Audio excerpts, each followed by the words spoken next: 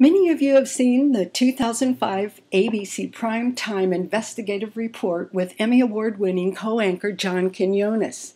In this report, he said, and I'm going to quote this decades of experiments may have the potential of adding years to people's lives.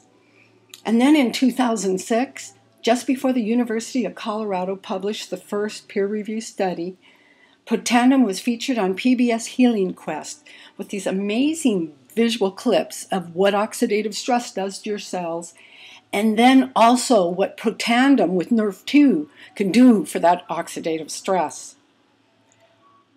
And then NBC, Al Roker of the Today Show, had author Elizabeth Somer on, and she was talking about her book called Age Proof Your Body